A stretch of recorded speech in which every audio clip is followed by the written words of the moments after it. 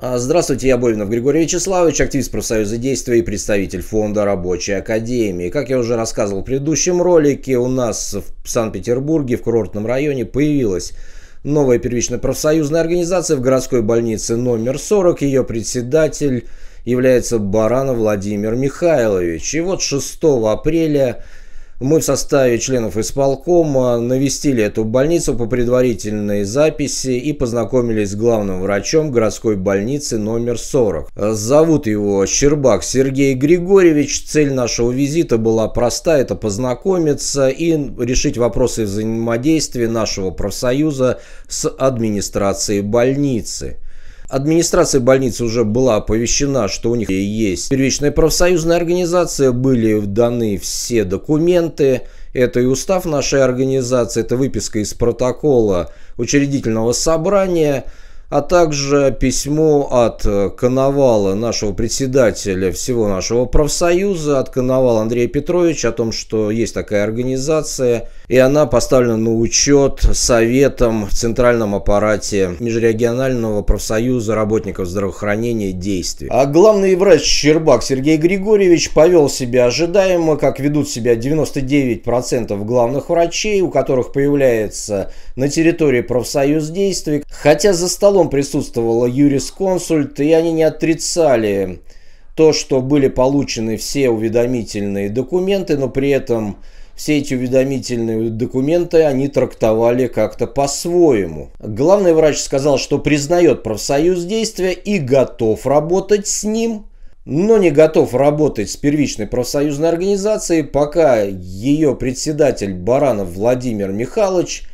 не раскроет весь актив своего профсоюза. Вот такие условия поставил главный врач. Я могу сказать от профсоюза, что данные условия существуют только в голове главного врача и его юрисконсульта. Законодательством таких условий не прописано. Скажу больше.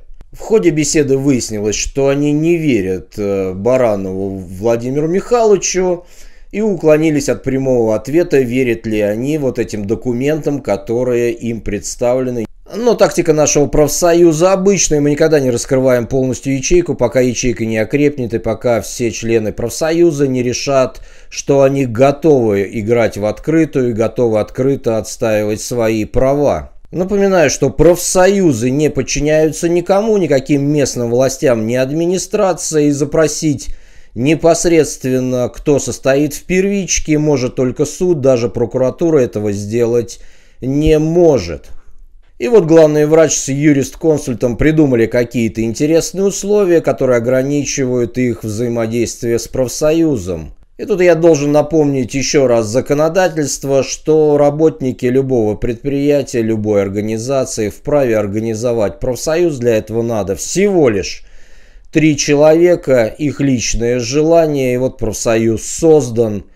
И когда работодатель получает уведомление о том, что на его, в его организации существует э, профсоюз, вот с этого момента у него появляются обязанности – обязанности по созданию условий работы для этого профсоюза. И как показывает уже сегодняшний день, тактика профсоюза, она правильная. Не успели мы уехать из городской больницы номер 40, из этого курортного района, как уже произошло давление на коллектив. Сейчас составлено якобы коллективное письмо, и под давлением сотрудников заставляют подписывать это письмо.